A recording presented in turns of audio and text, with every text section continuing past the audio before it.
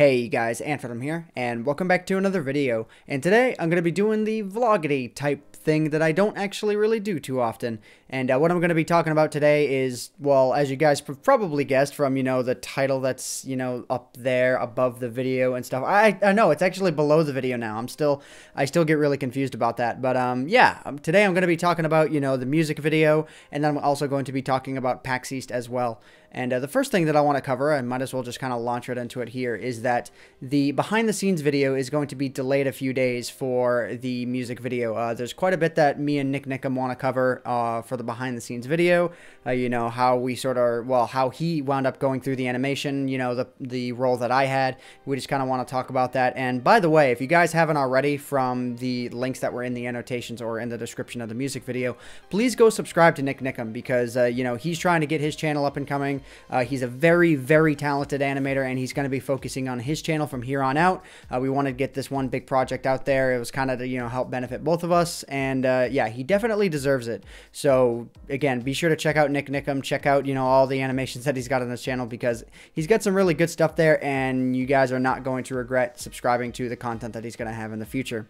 But uh, anyway, so like I said, the behind the scenes is going to be delayed by a few days, and as well, I wanted to mention why is uh, NikNikam is actually sick as of me recording this. Uh, as of me recording uh, this vlog, he's he was he got sick like two days prior to the music video being done, and he just kind of powered through it. I even encouraged him like, dude, if you need to take a few days off, just just do it. You know, we can delay this a week if you're sick, but no, he powered through it like a champion. And uh, yeah, so again, go subscribe to him for all those reasons and many, many more. So yeah, uh, something else I wanted to say as well is I couldn't, I can't thank you guys enough for the, you know, the feedback that I've gotten on the music video so far. Uh, you know, the feedback over has been overwhelmingly positive, and I honestly couldn't have asked for a better result myself. I'm really glad you guys are enjoying it. Um, for those of you who are wondering, because I have said it in various places, yes, this did take about eight months of production in one form or another. Um, I might as well talk about in this video because um, we'll be covering a lot, uh, you know, a lot of like how the video was made in the behind the scenes. So this is probably something that's never really going to get mentioned. Um, so the the production for the music video started in late June. That's when I started creating the lyrics for the song, and um, that happened until about mid-July. You know, I kind of was doing this on and off. Like this wasn't a full-time everyday project. For those of you who are wondering, I would say on average maybe, you know, an hour or two a day was spent on my part on the music video, um, on NikNikam's part from the day he started animating, which was actually in late September, and I'll get into what the why there was a time gap there. Um, NikNikam actually was animating, you know, during most of his spare time for like ev almost every day.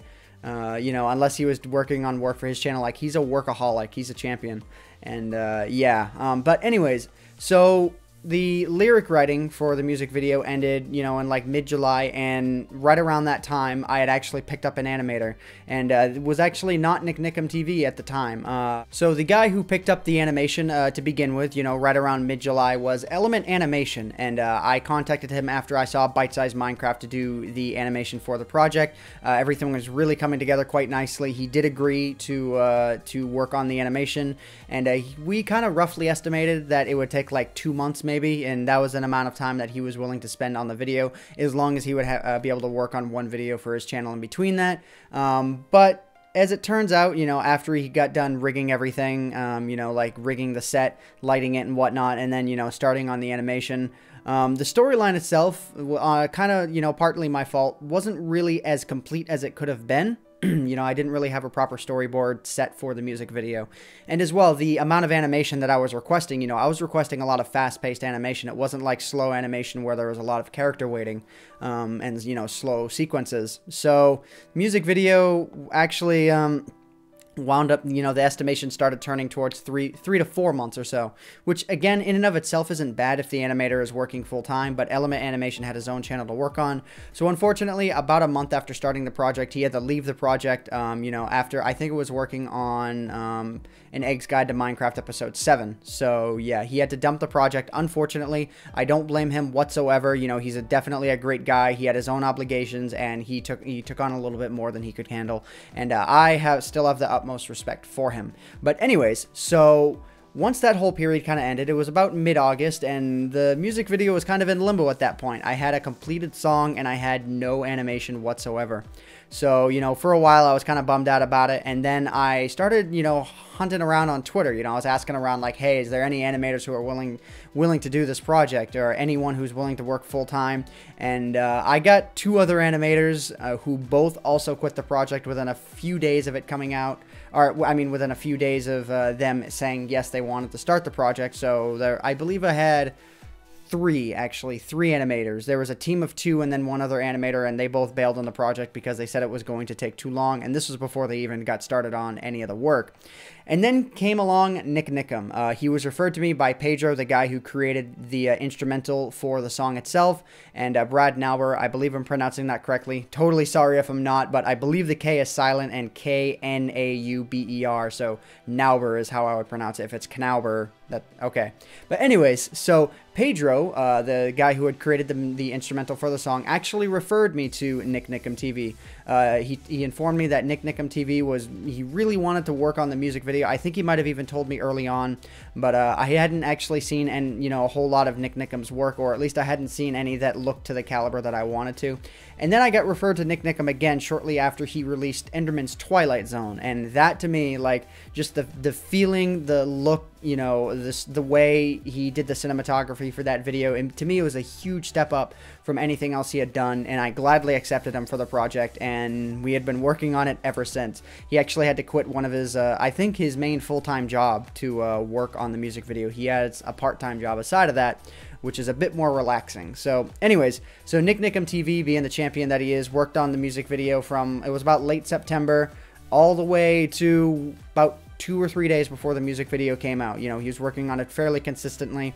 And uh, as a result, his main cha his channel was kind of taking a dive for it. And I told him at points, you know, if you ever need to work on your channel, you let me know and you go ahead and you do that. Because uh, I really didn't mind him doing that in between. That was actually an agreement that we came to when the music video actually started.